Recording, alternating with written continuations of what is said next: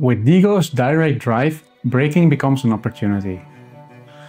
Because our motor has no gears inside, it can apply precise counter torque directly to the wheel, turning motion into electricity.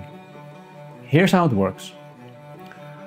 When you pull the brakes, sensors detect the signal and activate regenerative mode. The motor starts to act like a generator. The energy from deceleration flows back to the battery.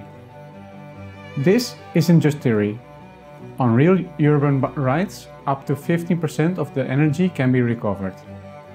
That's extra range with no extra battery, which means smaller, lighter batteries, lower total weight, less cost, more autonomy, but it's not only about efficiency.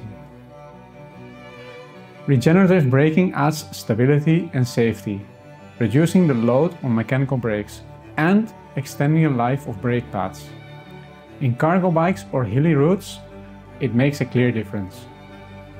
And thanks to calibration, we fine-tune the braking feel for each bike, from gentle drag on a commuter model to strong hold on heavy loads.